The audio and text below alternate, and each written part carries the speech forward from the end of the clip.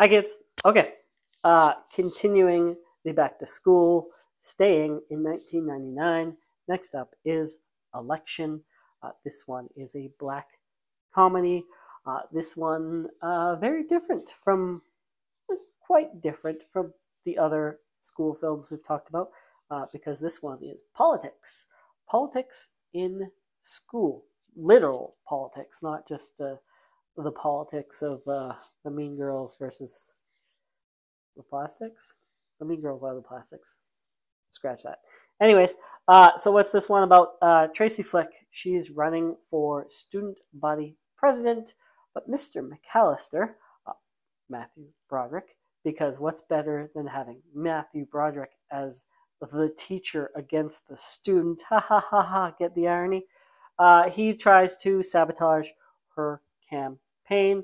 So, who are the kids in this one? Uh, Tracy Flick is played by Reese Witherspoon. She's about 23 years old, pushing it a bit. Uh, Paul is played by Chris Klein. You guys remember Chris Klein? He used to be in movies. Probably still is. Uh, he was about 20 years old, so closer to a teen. Uh, and then Paul's uh, lesbian younger sister, she's also running, uh, Tammy, uh, played by Jessica Campbell. Jessica Campbell was about 17 years old.